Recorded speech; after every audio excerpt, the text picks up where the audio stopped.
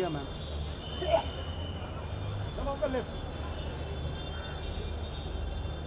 ये मुबारक ma'am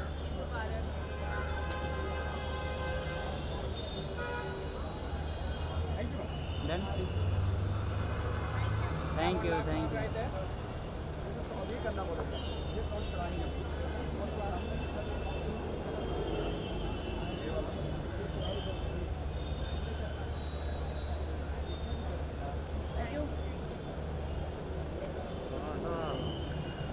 थोड़ा अच्छा है